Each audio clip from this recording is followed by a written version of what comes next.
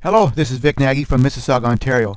We can be found at www.torontopainters.org. You can reach me at 416-568-3547. And today I'm going to show you how we repair damaged drywall on stucco ceilings.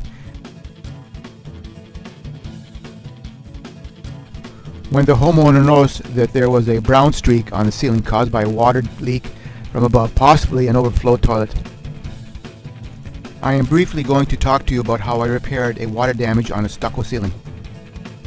We scraped away and removed the old tape, which was loose, and cleaned up the area around the tape, feathering it to the existing stucco.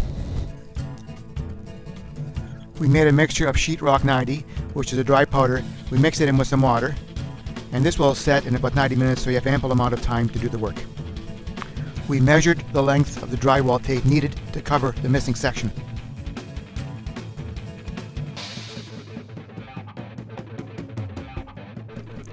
We filled in the spot the original drywall tape was in with sheetrock 90. We then inserted the drywall tape back into position.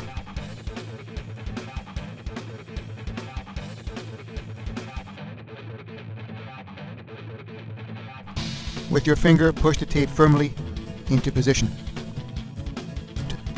Then we started smoothing out or squeezing out the mixture, making it flat to the drywall from under the tape, making it flush.